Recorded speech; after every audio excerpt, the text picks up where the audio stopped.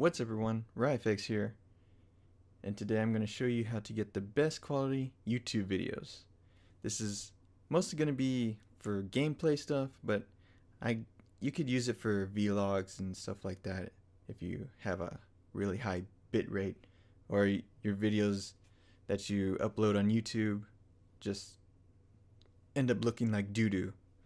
You end up putting a 1080p video on YouTube and it doesn't really look 1080p maybe if you're looking at a small screen or something, but then when you put it on bigger screens, it, it just looks awful. Uh, well, I'm going to show you how to make it look a lot more like the original recording. It may not be exactly like the original recording, but much better than probably what you've been getting right now. So what happens is YouTube has this lock bitrate type thing here. For 4K, this is at 30, 40, uh, 24, 25, and 30 frames per second. This is the lock bitrate that it goes in between. Then for 48, 50, 60, it, this is what it goes to as well. So for a lot of people, their 1080p videos, well, it's locked at 8 megabits per second, and then around 60 is like 12. Well, for mine, if I go to my gameplay video here, say this one,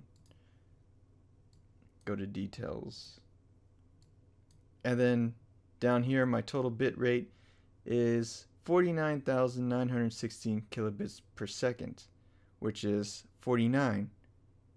Well, if it's going to drop to that, it's going to look like garbage. It's going to look like doo-doo and it's 60 frames per second as well. And I would need to upscale that to 4K. So what you need to do is take your editing program that you use. I use Adobe Premiere Pro. Um, it, this should work for pretty much any editing program that's up to date or at least modern.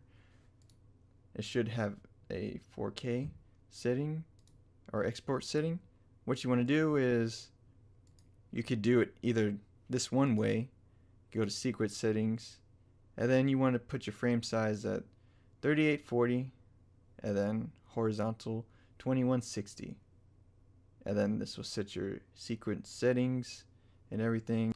And then all you have to do is right click if you're in Adobe Premiere Pro or maybe it's the same thing like with your other with your editing program you should just scale to frame size like that and it will expand it.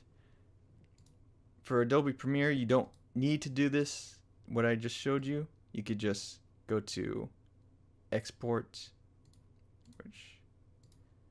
like this, and then you just need to really uncheck this, and then you just type in 2160 or 3840 and then it should just adjust itself.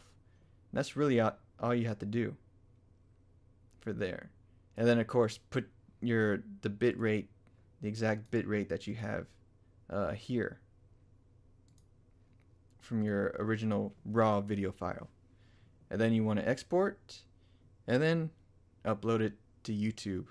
And that's pretty much it.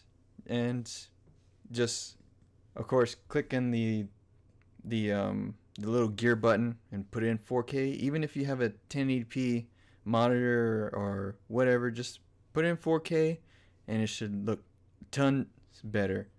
I will be posting up a demo video of what that looks like and I'll put a link in the description and you could go over there just watch it in 1080p first just look how it, it looks as doo-doo and then uh, push it up to 4K and watch it all like that and it should look a ton better. So hopefully this helps you out. And yeah. So if you have any comments or questions, uh, either I or maybe someone else will have an answer for you down in the comment section below. I hope this helped you out and be sure to like, comment, and subscribe and well, yeah, and all that good stuff. If you enjoyed that video, please be sure to like, comment, share, and subscribe. You have 5 seconds to comply. Four, three, two, one.